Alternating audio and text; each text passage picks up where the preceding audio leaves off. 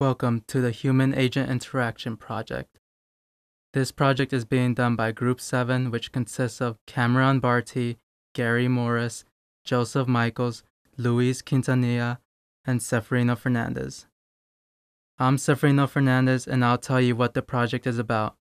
The human agent interaction is a study currently being done by Assistant Professor Erin Chiou and Graduate Research Assistant Mehrdad Sharak. The study consists of questionnaires which gather user information both before the game is played and after the game is played. When the study first started, the Microworld Hospital was originally an Android app which was then converted into a desktop Java application. This project is going to be a Java application conversion into a web application.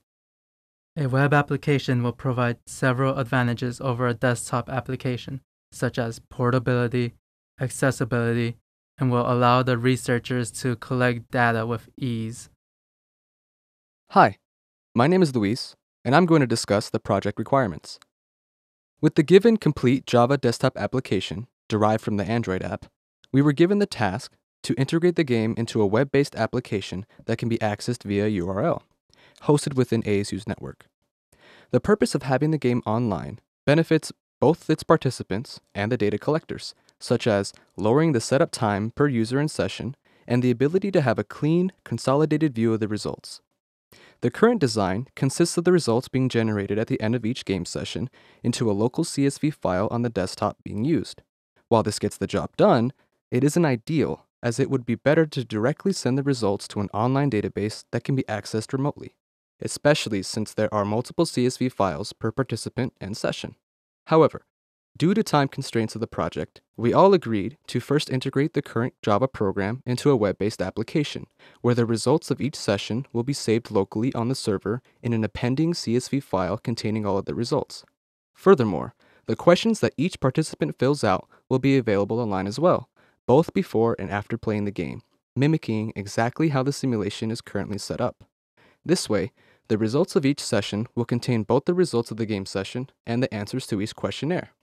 The creative part of this project consists of a tutorial that we are free to design that will help each participant fully understand the tasks and requirements that the game is about to challenge. Above all else, the integration into a web based application will require the look and feel of the entire project to appear professional and hypothetically marketable to an audience.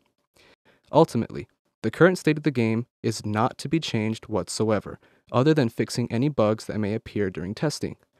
This project will require some research involving HTML5, CSS, JavaScript, and Visual Basic in order to fulfill the requirements. If there is time to implement a proper database for the results, we will need to dive into some ASP.NET and SQL Server with their capabilities. The sole purpose of this project is to provide an easier experience for both the participants and the collectors of the current study. Hey everyone, I'm Joe, and I'll be discussing our design process. After our first meeting with the sponsor, we immediately began our design process. This started with a group meeting where we discussed project direction, obstacles, and timeframe. Here, the initial whiteboard design and rough prototype layout can be seen along the top of this photo. We covered rudimentary layout of each HTML slide and paired them with the sponsor requirement or resources. Each slide was assigned a team member and name for easy reference when we would eventually assemble the prototype. Next, we brainstormed languages and tools to handle translating the codebase into something that could be utilized within a web application, along with minor name changes within the simulation to improve user comprehension. We also set a timeline to keep us on track for the following weeks that we have strictly adhered to. From there, we moved into prototyping phase, building each web page to our understood specifications, compiling and critiquing each other's design to form a consistent user experience. Finally, we demoed the prototype to the sponsor and have received feedback on our design, which we have begun to implement and plan to do a final demonstration before the end of the semester. Next semester, we will begin our main development phase, where we will follow an agile process with two week sprints handling the build, test, and agile documentation of the project.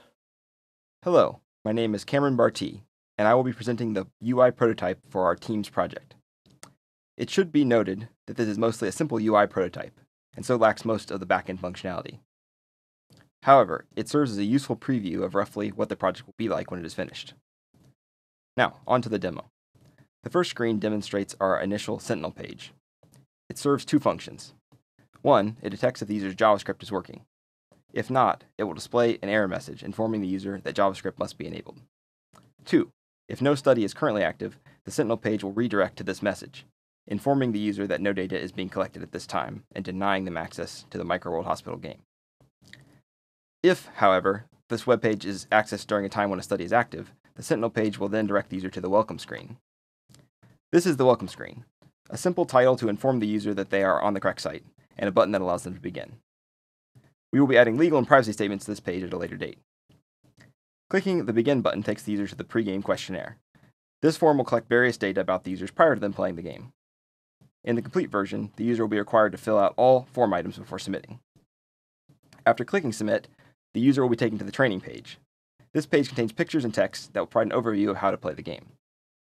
After the user is finished reading, they can click the button to advance onto the tutorial portion of the game. In this portion of the game, the players will play a short two minute version of the game during which no data is collected. This is to familiarize the player with the game before actual data is collected. For the prototype, we have created a non functioning version of the game's UI, but in the completed version, this screen will contain all the backend code needed to run the game. After the tutorial's two minute timer has expired, the player will be taken to the main 8 minute version of the game, during which data will be collected. This screen will function exactly the same as the 2 minute tutorial, except for the longer time limit and data collection. After the 8 minute timer expires, then the user is taken to the post game questionnaire. On this screen, data is gathered about the user following their game session. They will indicate their level of agreement with various statements by ticking the radio buttons associated with each statement. After the user has filled out all the form items, they will be able to click Submit, at which point they will be taken to the thank you screen, thanking them for their participation. This concludes the prototype demo. Hi, I'm Gary Morris, and I'm going to talk about our future phases for the project. We've already completed our phase one, which was analysis, where we determined with the sponsor what it is exactly that they wanted and how best to accomplish that goal. Our phase two, which is what we're currently in until the end of the semester, is our design process. We have developed a prototype of the UI that's going to be for the sponsor approval just after Thanksgiving. And that will bring us to conclusion of the semester. Phase three will start us off next semester with our implementation phase. This is where the bulk of our agile process will be conducted. We will begin implementing the back end of the project as well as continuously integrating the package. Phase 4 will begin three months later with beta testing. This is where the sponsor will conduct a full blown research test on the system to stress test it for us. We can then make any adjustments as needed. Phase 5 will be the user acceptance phase. This is where we will present to the sponsor all the corrections that we have done from the beta test and get them to accept the project. Phase 6 will be our release phase. This phase is where we will set the sponsor up in their lab with their server so that they can then have people access the web package and conduct the survey. Hey, I'm Seferino again, and I contributed to documents such as the software requirements, specifications, and the meeting minutes done after every meeting with the sponsor. I also worked on the post questionnaire HTML page, which gathered user information after the user is done playing the game. Hi, Luis here again. My contributions consisted of research into web based applications and frameworks, taking meeting notes, ensuring documents are uploaded and available on Blackboard, creating an HTML thank you page and editing the others as well, editing and writing to all four of the documents, and lastly, both the audio recording and editing of this presentation. Hi, this is Joe again, and my contributions include the initial setup of our development tools in Taiga, Slack, and GitHub, designing the welcome and tutorial pages for our sponsor prototype, the first version of our project charter, and the first version of our system design specification documentation. Hello, it's Cameron again, and my contributions to the project included the following. I produced the pre questionnaire HTML prototype page. as well as the mock-up game and tutorial HTML pages for the project prototype.